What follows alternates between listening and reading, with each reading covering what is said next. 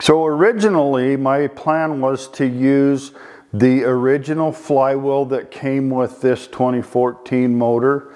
However, as I started looking at options for clutch assemblies, they were not readily available. They were rather expensive and the flywheel interfered with the input shaft on the transmission. And I'll show you a little bit more about that in just a second.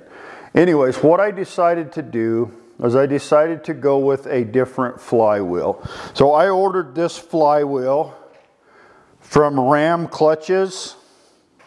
Now Ram Clutches works with a couple of different companies to sell their product. However, this particular flywheel was not available through either of the other companies. And so I had to order this one directly from Ram Clutches.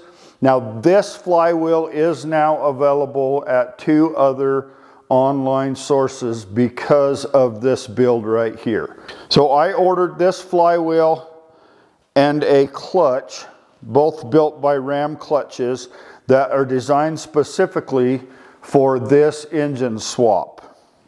Now one of the things that we have to do when we look at the old flywheel and the new flywheel, we have to make sure that the bolt pattern is the same. So what I did was I put the old flywheel upside down and then I set this flywheel on top of it upside down. And if you look down through here, you can see that the bolt pattern is the same. Also, you can see that this 2014 flywheel is much smaller here in the center. And that is what interferes with the input shaft on the transmissions. So we've gone ahead and set this flywheel up and lined up the bolt holes. What I'm going to do now is I'm just going to take my bolts and I'm going to run them in temporarily just to make sure that they all go in like they are supposed to.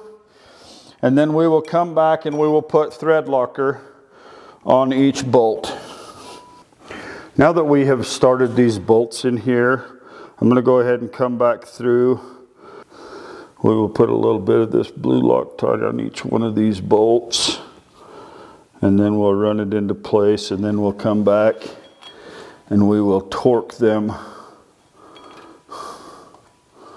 all down. We torque these flywheel bolts down to 75 foot-pounds, which is what they call for for the size.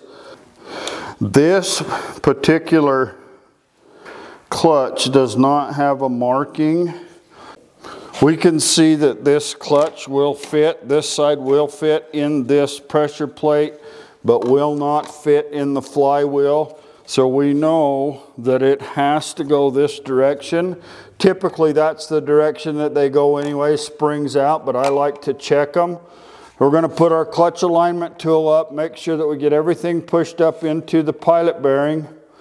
And then this actually takes some locating pins here and here, but I don't have them right now. I'm gonna go ahead and install this pressure plate. Just gonna line this up so that those pins are where they're supposed to be and I can come back and put those pins in it later. I'm just gonna get this started and then I'll come back and we'll torque it down and show you how that's gonna go. These pressure plate bolts call for 35 foot-pounds of torque. So we're gonna go ahead and torque them now. And we're going to skip every other one so we get them torqued down equally.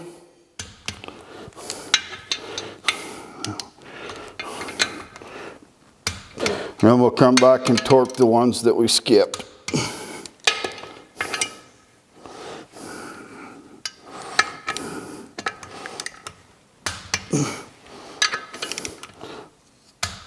Now, the pressure plate is on, clutch is in place, our Clutch alignment tool slides in and out nicely, which means that our transmission will bolt up.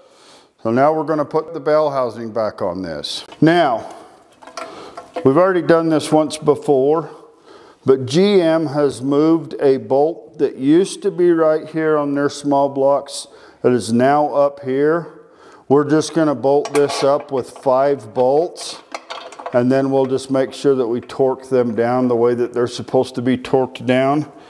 It doesn't take an excessive amount of pressure at this spot anyways. Most of the pressure actually winds up on these dowel pins. In order for us to get the throwout bearing set to the proper distance, we want to reach in here and measure from these fingers on this pressure plate out here to the edge of this bell housing. Now that will allow us to set our throwout bearing at the right distance. So what we have here is 2.690. So what we will do is we will transfer that measurement to the edge of this transmission right here and we'll take off the distance for this input shaft seal housing and we will figure out the spacing that we need for our throwout bearing to set on this.